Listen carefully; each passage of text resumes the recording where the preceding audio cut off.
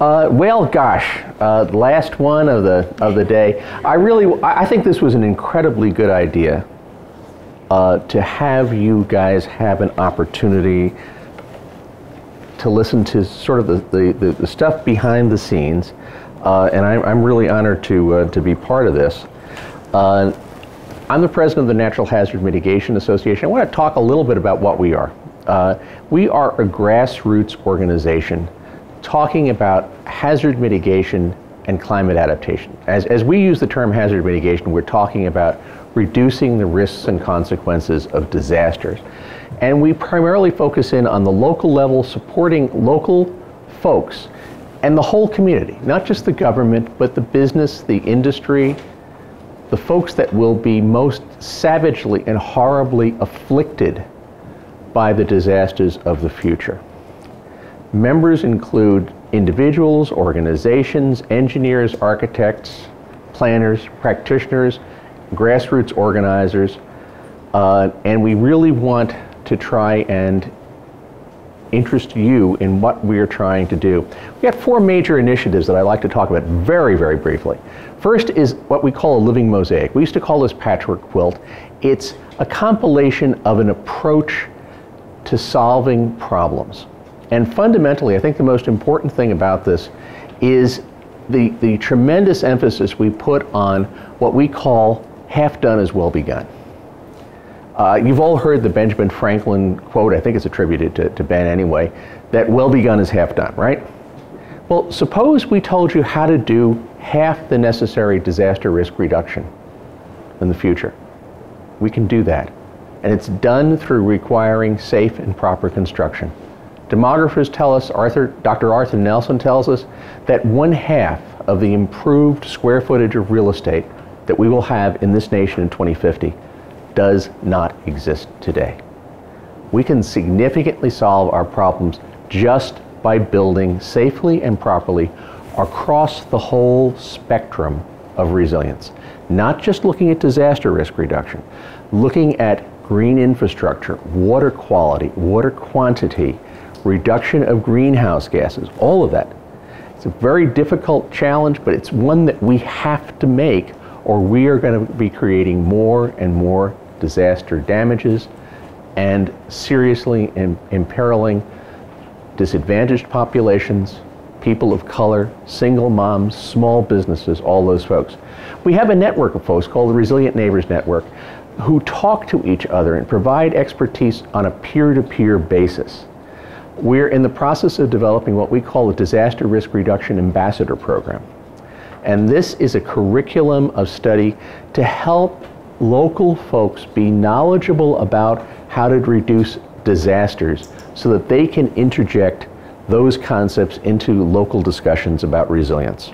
A lot of people uh, look at resilience as carbon sequestration, incredibly important lowering miles driven, more use of mass transit, energy efficiency, all that's important, but so too is disaster risk reduction.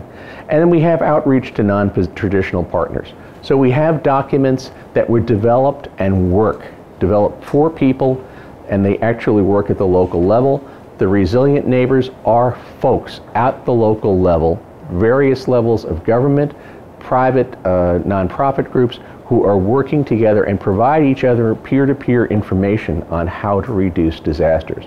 We've got this program that I just described that is in process.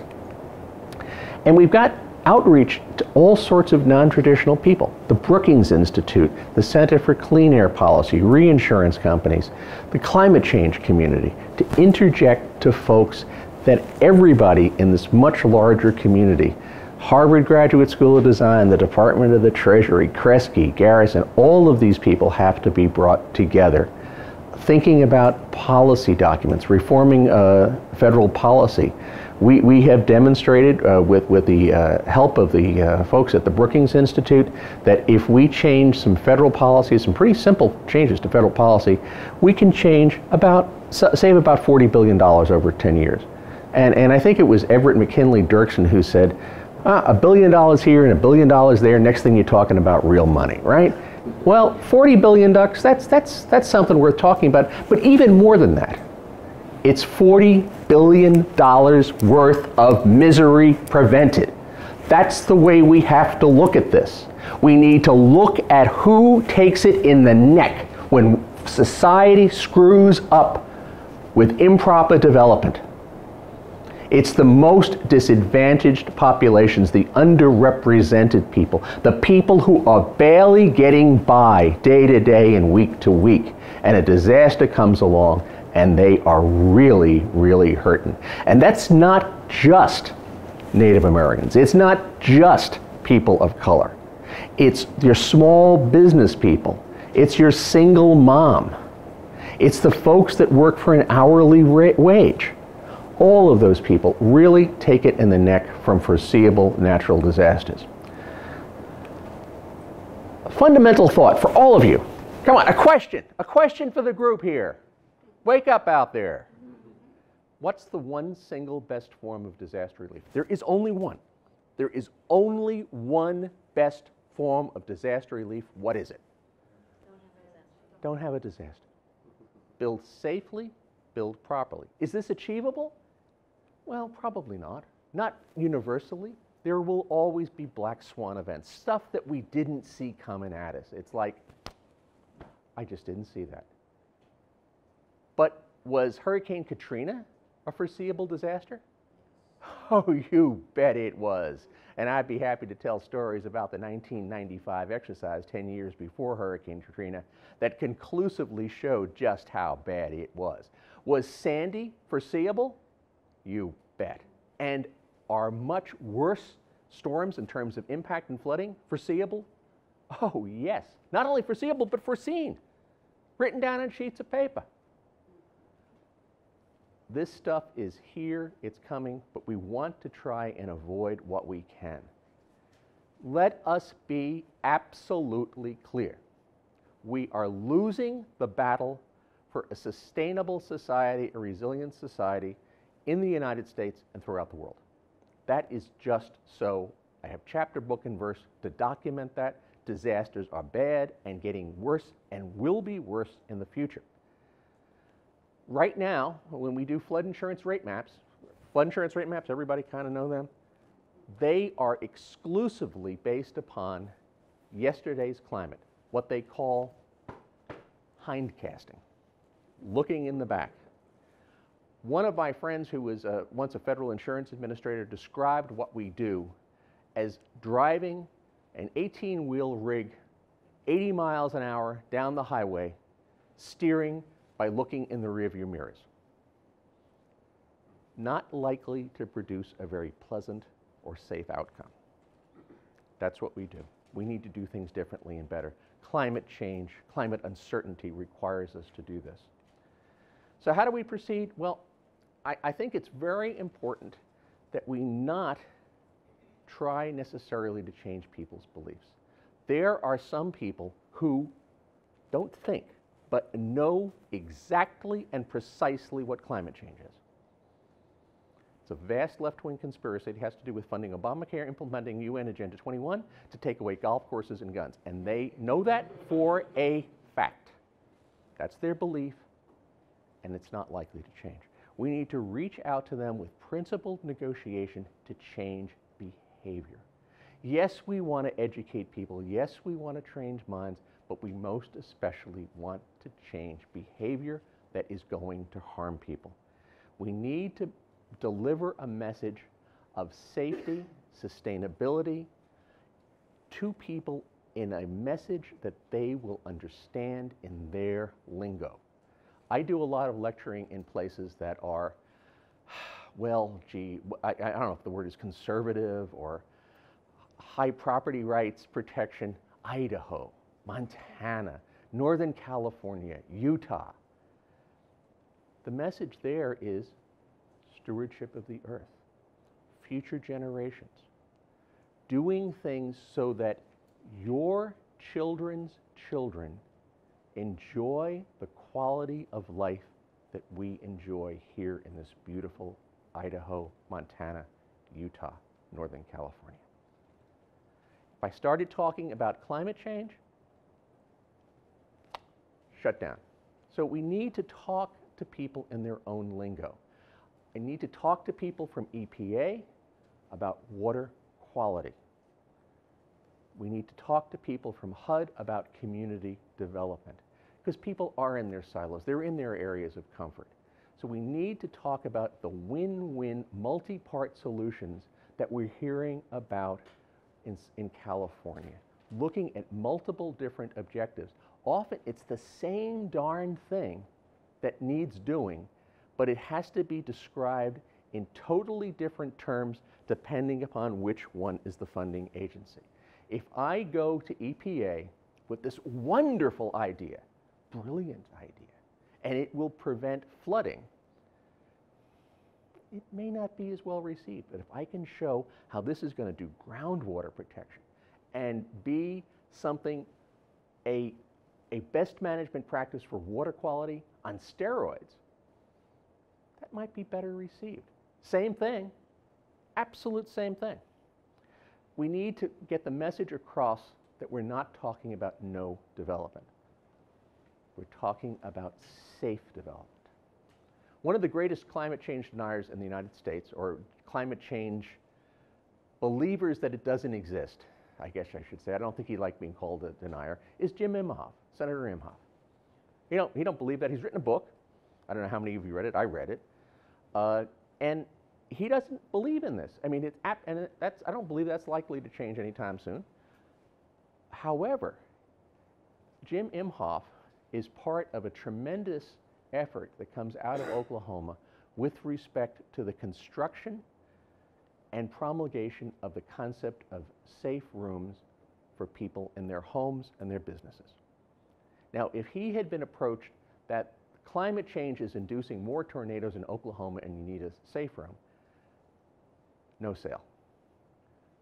But having safety for families, oh, this is good. So on his Senate website is stuff about building safe rooms because it's a good thing for safety. We need to find common ground and, and be respectful of people uh, even when they don't like us and perhaps they're the rare person that, that we have met that we don't care for either.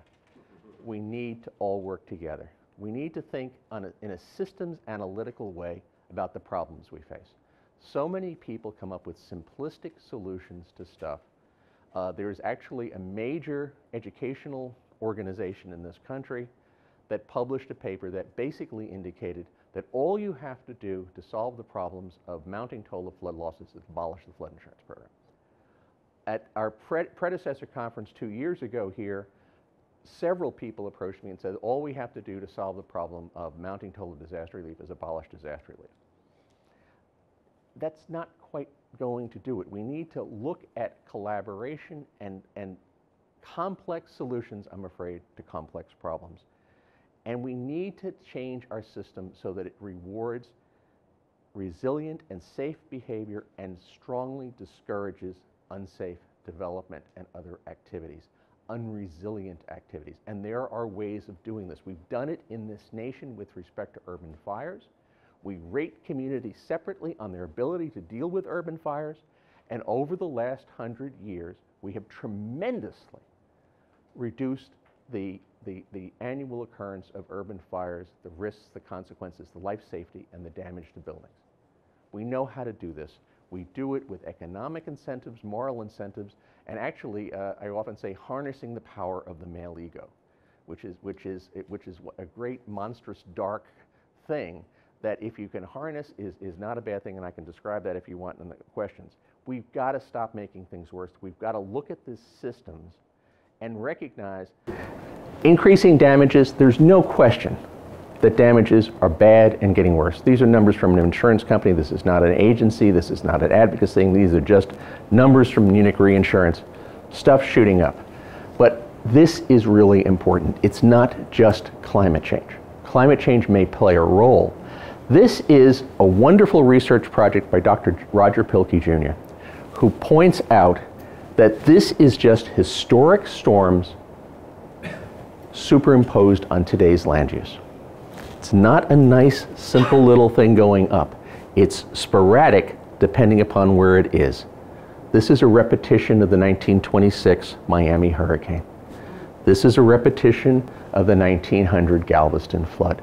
We have more and more people, more and more expensive stuff in harm's way. And that's just a fact. The demographic trends of the future Chris Nelson, Arthur Nelson, 50% of the built environment we'll see in the year 2050 does not exist today. What an opportunity.